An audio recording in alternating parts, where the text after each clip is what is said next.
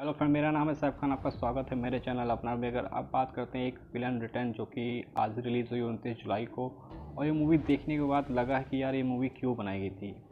मतलब इन एक्ट्रेस को क्यों लिया गया था? यार जो इतनी बेहतरीन स्टारकास्ट थी, एक विलन जो आई थी 2014 में, क्या दमदार एक्टिंग देते देशमुख श्रद्धा कपूर, सिद्धार्थ मल्होत्रा ने मज़ा, बवाल मचा दिया। उस मूवी का इतना क्रेज़ था, उस मूवी का इतने गाने भी, सारे गाने बेहतरीन थे। मज़ा आ गया था मूवी देखने के बाद। अब ये एक विलन रिटर्न आई है तो इसके कंपेरिजन में कोई क्रेजनेस ही नहीं ऑडियंस थिएटर पहुँच ही नहीं रही है, वो फील वो क्रेज़ बना ही नहीं पा रही है। तो as comparison movie average movie है, देख सक, अगर आपके पास कोई मूवी नहीं तो आप देख सकते हैं इस मूवी को।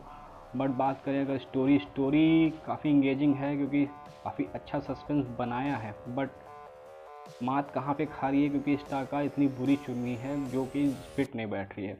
जाम इब्राहिम ने बेहतरीन काम किया। अर्जुन कपूर का एवरेज काम है दिशा पटानी बेकार है, तारा सुतारा भी बेकार है।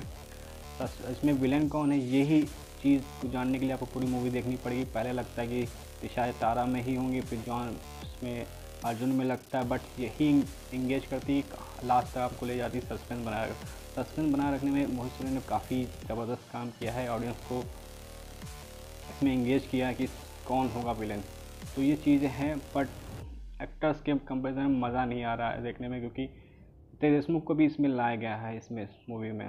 तो ओवरऑल अगर बात करें मूवी वन टाइम वॉचेबल है, देख सकते हैं ऑडियंस को इंगेज करती है बट स्टार कास्ट बहुत बुरी है, मज़ा नहीं आ रहा देखने में। बस स्टोरी अच्छी, दमदार है सस्पेंस बहुत ही तगड़ा बनाया गया है, देख सकते हैं। बट उतना क्रेज़ नहीं जो एक विलन का क्रेज़ था 2014 में, वो 100 करोड़ के गई थी। अब इसकी ओपनिंग भी देख सकते हैं, कितनी जाएगी। तो अगर पास कोई मूवी नहीं तो आप इसको वॉच कर सकते हैं। वन टाइम वॉचबल मूवी है, जाइए इन्जॉय कर सकते हैं। और ऋषा पतानी के फ़ैन हो तो जा सकते हैं। जॉन रहीम के फ़ैन हो, जा, अर्जुन कपूर। क्या बताएँ, क्या ही काम किया। बट कुछ फाइट सीन बहुत ही ज़बरदस्त हैं, जो ट्रेन में होता है काफ़ी तगड़ा फाइट सीन होता है। सिनेमाग्राफी काफ़ी अच्छी करी गई म्यूज़िक भी अच्छा है but as compare first part के इतना म्यूज़िक कमदार नहीं है। तो वन टाइम वॉचेबल जाइए, देखिए, और प्लीज़ चैनल को सब्सक्राइब करिएगा सपोर्ट करिएगा स्मॉल यूट्यूबर्स को। मिलते हैं आपसे नेक्स्ट में तब तक टाटा बाय बाय